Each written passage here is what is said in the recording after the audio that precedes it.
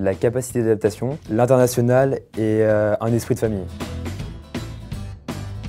Le fait d'avoir un double diplôme et de pouvoir partir deux ans à l'étranger et euh, aussi la possibilité de faire euh, un an de stage au total sur les quatre ans qui est très intéressant. Donc après un an de cours à Reims et six mois de stage en tant qu'assistant marketing au sein du Racing 92, je me prépare à partir à l'étranger aux États-Unis pour deux ans. J'envisage par la suite de faire un master spécialisé dans le milieu du sport en France ou à l'international.